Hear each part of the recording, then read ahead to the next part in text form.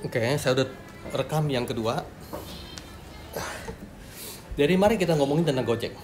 Gojek adalah sesuatu yang terpusat. Kalau kita tanya kenapa lu ada ada Gojek, dia bilang katanya untuk mense- mensejahtera, mensejahterakan masyarakat Indonesia sampai mereka sampai pada saat mau uh, pergi kantor dan sebagainya jadi lancar.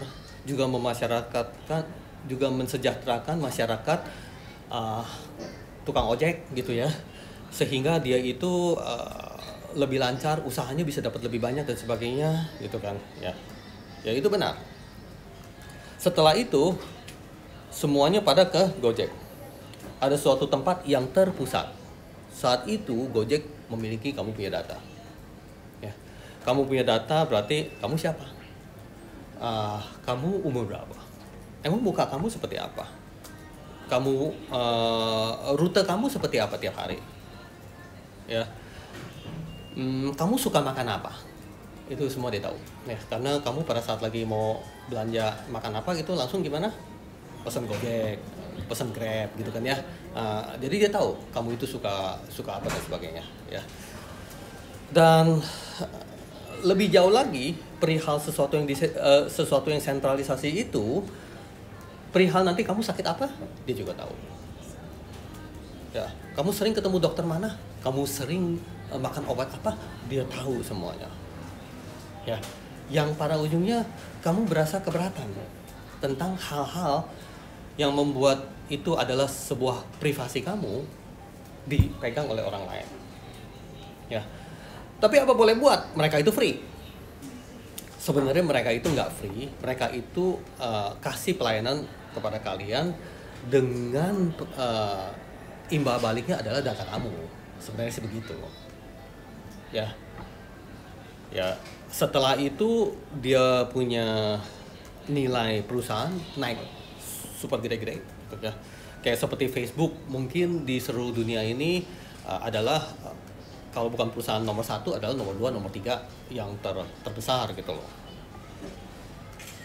Padahal Facebook kalau misalnya uh, misalnya Airbnb Airbnb itu sebuah perusahaan yang yang apa hotel-hotel tapi dia sendiri nggak memiliki satu hotel pun ya namun bisa sangat kaya raya oke itu sesuatu yang sentralisasi Uh, dia memiliki data kalian dan privasi kalian uh, akan akan apa namanya akan ada ada bahaya lah gitu. Sebagai contoh, Yahoo. Ya. Yahoo itu sempat dihack. Ya. Dihack sehingga sekian banyaknya pengguna Yahoo semuanya data-datanya bisa diambil oleh orang lain. Saking kena begituan, walaupun si Yahoo menyadari hal itu, dia itu sampai nggak berani ngomong. Ngerti nggak? Ya, diem-diem gitu. Aduh, uh, data aku dihack, diem-diem nggak berani ngomong. Sampai tiga tahun, sampai pada akhirnya ketahuan dan ngeblow up. Ya, itu urusan-urusan Yahoo pada saat itu. Ya, pada saat nggak nggak blow up, sesuatu yang merupakan privasi dari sekian banyaknya pengguna Yahoo itu semua terbongkar ke publik ya semua semua ya uh, si uh, uh, si Aul kirim email ke Yahoo gitu ya terus habis itu ke ke ke papanya bilang aduh saya itu uh, sakit uh, kepala nggak sembuh sembuh nih saya udah ketemu uh, itu semua ketahuan ya karena itu tempat dihack Uh, atau si Yahoo sendiri bisa ngintip kalau mau. Si Google sendiri juga bisa ngintip, ngintip karena itu sesuatu yang tersentralisasi. Oke? Okay? Milea. Ya. Tadi kayak itu Eh, masuk ya?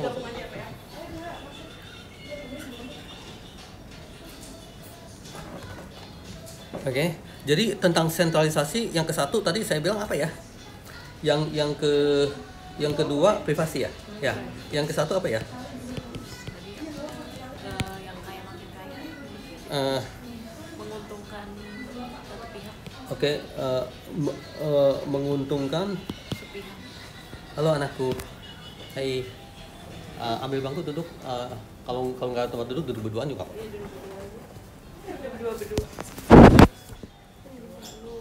Oke, kita sebut yang pertama eh, menguntungkan pihak sentral.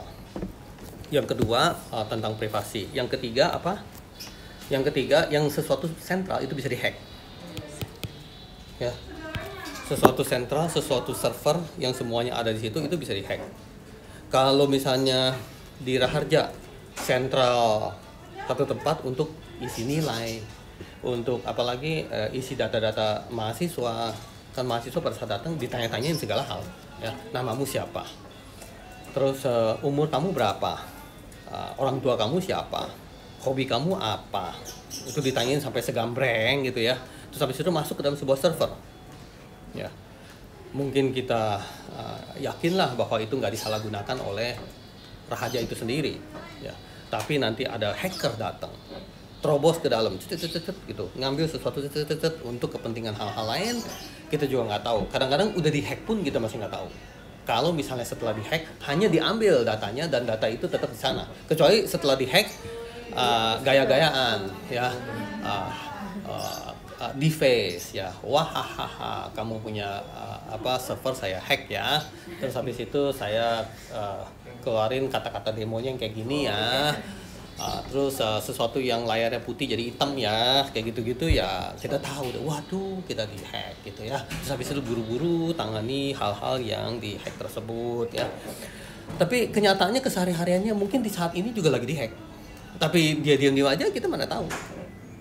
Ya ya kecuali kita ya jago gitu bisa bisa deteksi deteksi hack sedemikian rupa. Tapi itu tahapan-tahapan jago-jagonya itu pada saat kita jago segini ada hack yang lebih jago yang yang kayak gini. Oh kita tahan sini. Eh ada yang lebih jago yang kayak gini itu nggak ada habis-habisnya.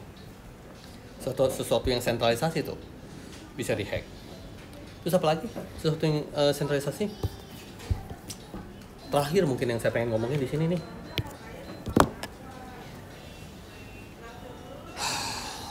siapa yang bisa wah hebat banget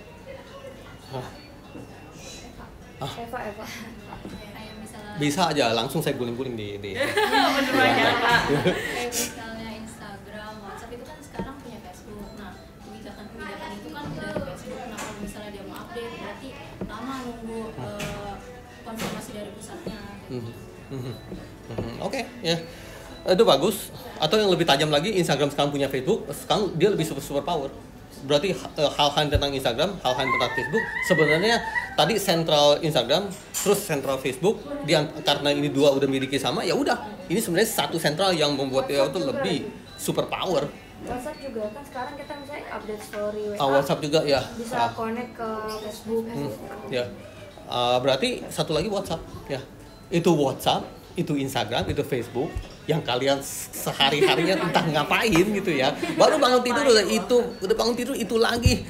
Itu dikuasai oleh orang yang sama si si Mark Zuckerberg itu tuh ya. Uh, ya, dia itu raksasa yang menguasai kamu. Ya. Tapi sesungguhnya yang nomor empat itu yang saya pengen uh, ngomong adalah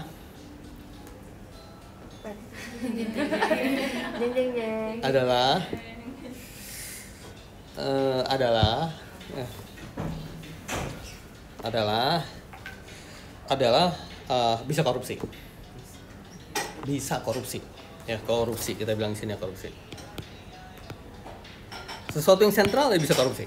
Sesuatu yang nggak sentral itu nggak bisa korupsi. Nah itu itu itu hal-hal yang nanti kita pengen korek-korek tentang tentang nggak sentral. Karena eh, kita pengen ngomongin sebuah contoh yang nggak sentral itu apa? Sekarang kita lagi ngomongin tentang sentral itu menguntungkan satu pihak doang. Eh, rakyat tetap sengsara privasi kita di, di disikat bisa dihack bisa korupsi lagi. Tapi kita eh, contoh-contoh korupsi itu seperti apa?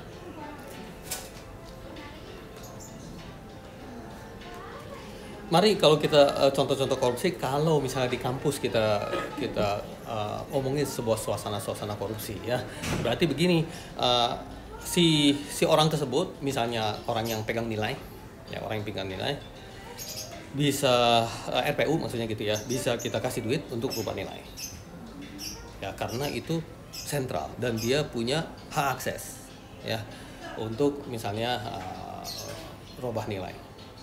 Ya, itu bisa uh, sesuatu yang korupsi. Hal-hal yang kita pengen jalanin itu harus ke sentral dulu terus habis itu baru ngapa-ngapain dan sebagainya ini sentral bisa diapa-apain. Dan biasanya uh, bisa dikasih duit. Kasih duit aja sesuatu berubah deh. Dari lu- dari nggak lulus jadi lulus. Dari B jadi A. Kayak gitu-gitu itu bisa dilakukan. Karena sesuatu yang sentral. Berarti kayak kayak kita lagi mau sebut kalau sesuatu yang di sentral jadi begini-beginian nggak bisa. Katanya sih.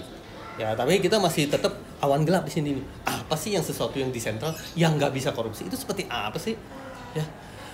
Eh, sesuatu yang di sentral tapi eh, tidak hanya menguntungkan sesuatu yang pusat tapi menguntungkan untuk kita semua. Apa sih? Ya. Sesuatu yang nggak bisa dihack. Apa sih? Ya. Nah baru kita dari sini pengen stop hal-hal yang perihal sentralisasi karena contohnya banyak banget yang tentang sentralisasi ya. Dan kita pengen move ke arah desentralisasi. Oke? Semua partisipasi membuat ini menarik. Ya kalau omongan-omongan itu membuat kita punya otak pikir keras membuat hati kita berdebar-debar itu bagus. Ya saya lihat-liatin siapa yang lagi menguap nih.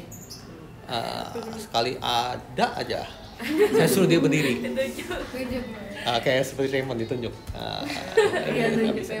Mesti nggak bisa tunjuk ya. Habis itu itu orang harus berdiri eh, terus ditepok-tepok sama temannya. Wah. ya, plok plok plok plok plok plok. bangun. Kalau bisa tepok pipinya. Plok plok plok supaya bangun. Oke saya ke WC dulu. Eh, mari kita setelah itu ngomongin tentang desentralisasi. Ini